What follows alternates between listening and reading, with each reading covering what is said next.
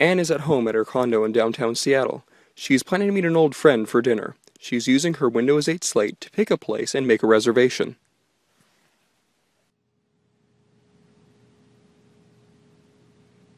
Find a Thai restaurant nearby. Book a table for two for dinner tonight.